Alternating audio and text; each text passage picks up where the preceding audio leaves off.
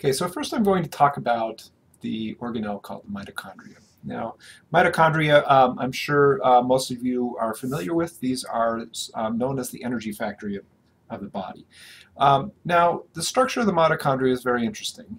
It, you know, sort of has a pill-like oval shape with an outer phospholipid bilayer membrane. So all the organelles in the cell, just like the cell membrane itself, are made up of um, have a membrane of their own that's made up of a phospholipid bilayer membrane.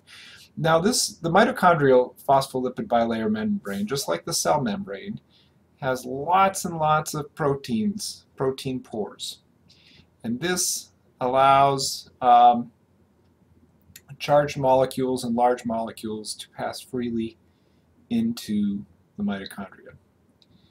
All right, now the mitochondria is interesting because it has a second phospholipid bilayer membrane. And this one um, is very tortuous.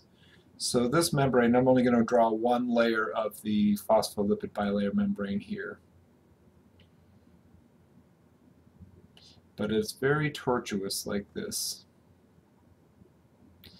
And this tortuous membrane creates sort of this matrix on the inside. And this matrix um, provide, provides lots and lots of surface area.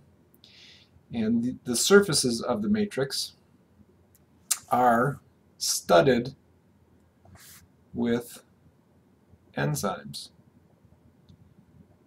And these enzymes, as you remember, enzymes are proteins that that speed or catalyze the reaction of uh, different chemical reactions, two different substrates. Okay, so there's lots and lots of these enzymes studying the um, the, the inner matrix of mitochondria.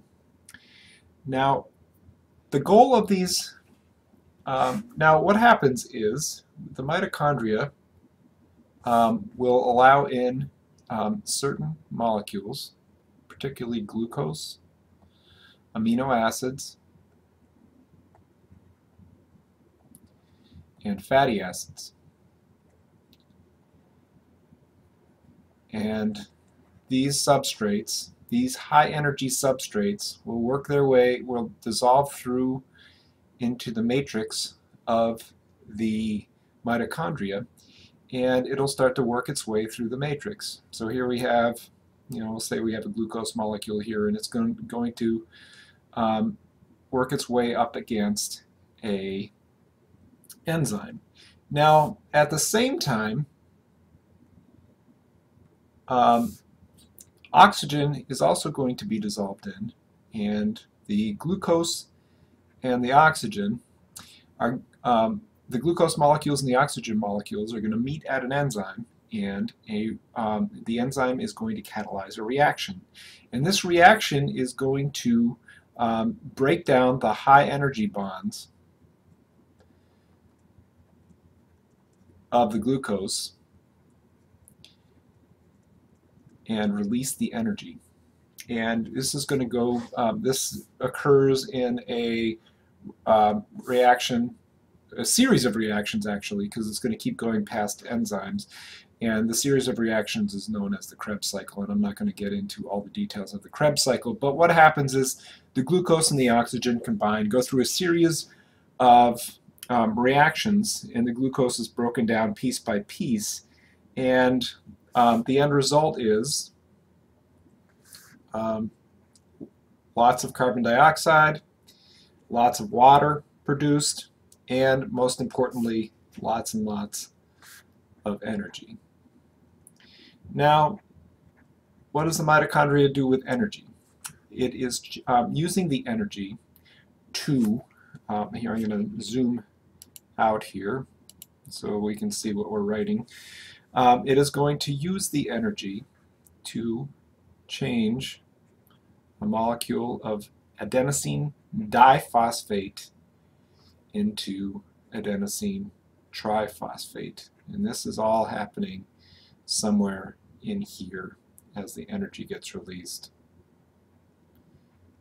Now,